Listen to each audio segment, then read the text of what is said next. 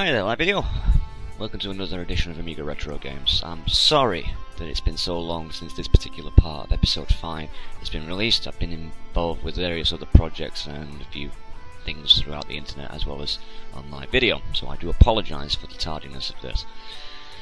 Um, anyway, today, episode 5 part B, and we are going to be covering the second game in the Pinball trilogy for the Amiga called Pinball Fantasies.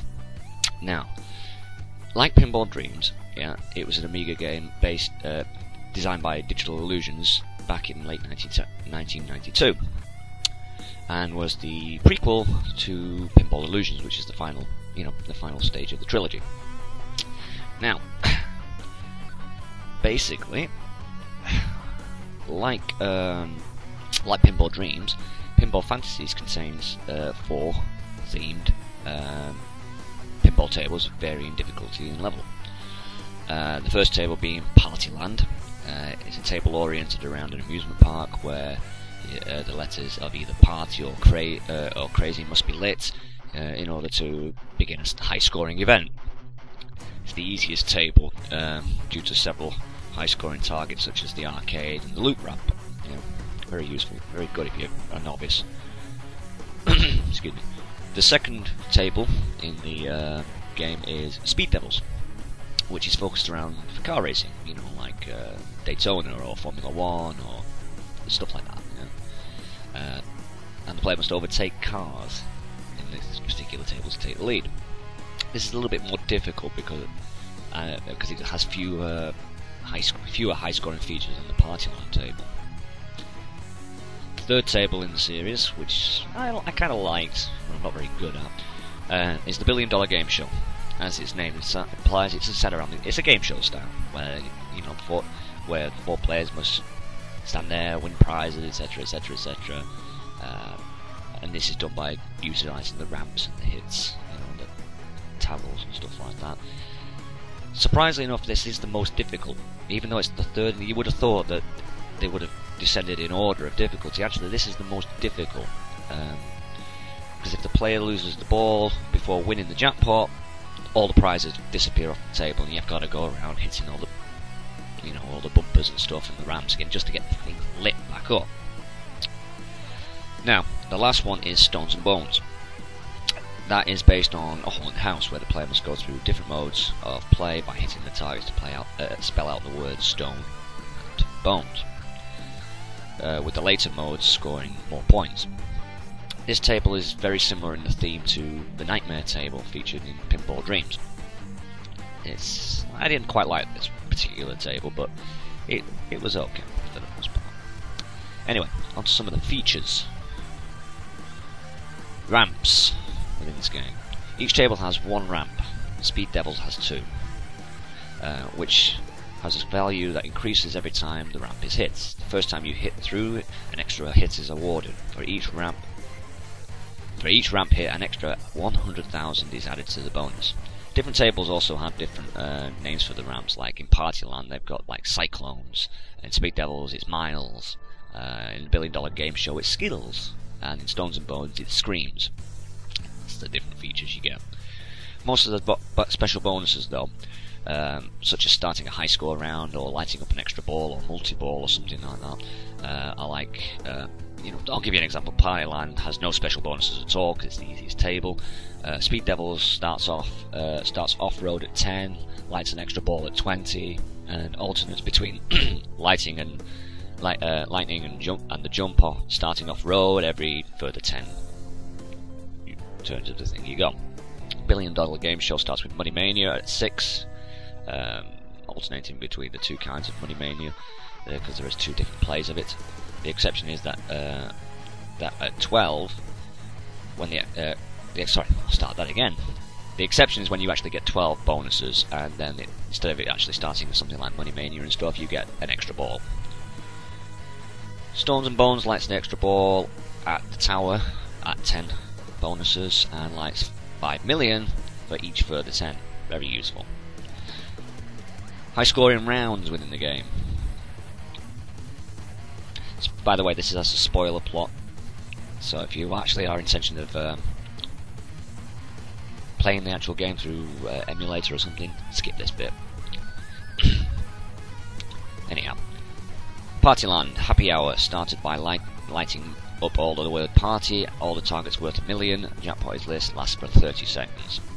Mega Laugh, which is funny, especially with the sound effect, started by lighting crazy, and then all ramps and sinkholes are worth 5 million when the jackpot is lit. That also lasts for 30 seconds.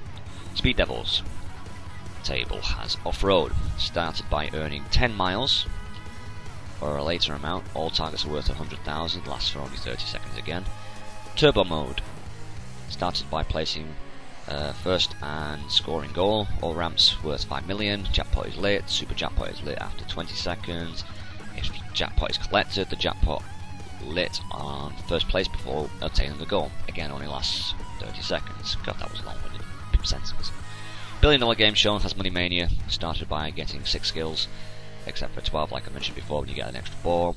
Either all, either all the targets are worth 500,000 and all the ramps and sinkholes are worth 1 million. Lasts again only 30 seconds.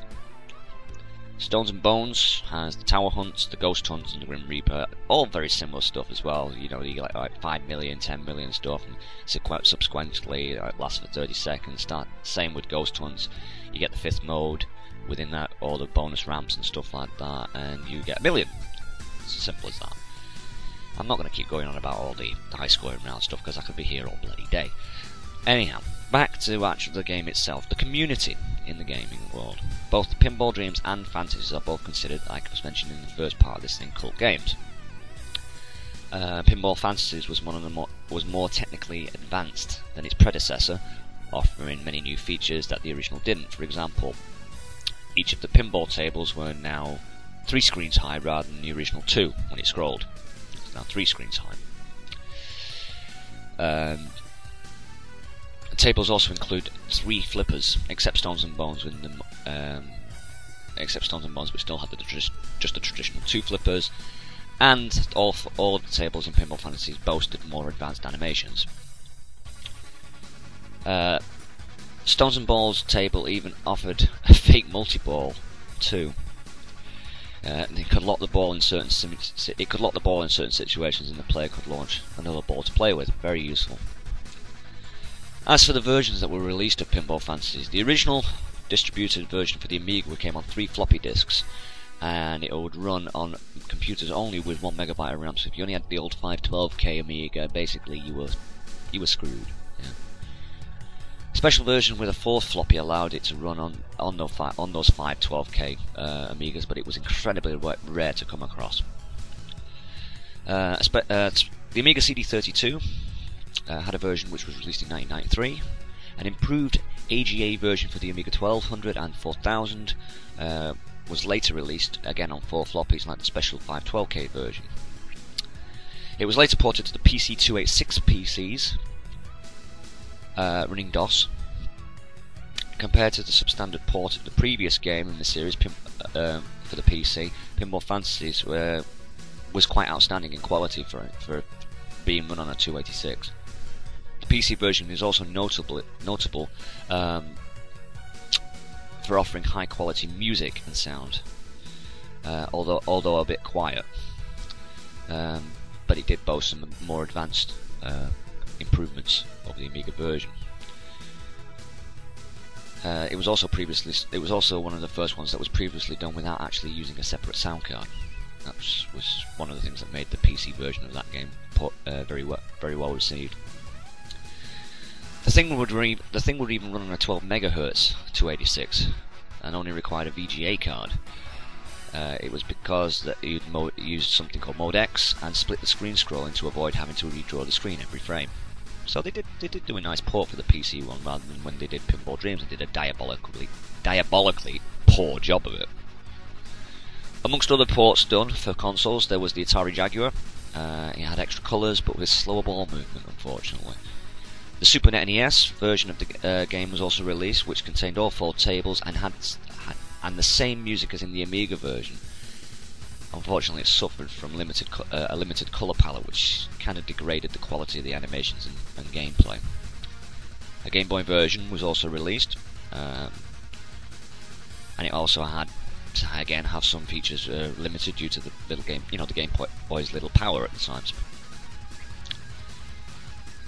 Comparison table um, was also released for um, from Pinball Mania as Pinball Fan as Pinball Fantasies Deluxe for DOS.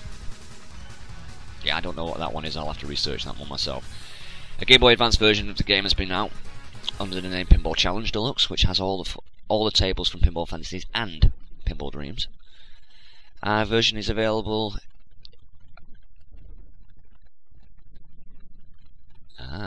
Here's some news for you. A version of the game for all you Xbox players out there is available in the future over Xbox Live's Arcade on the 360. That might be worth checking out.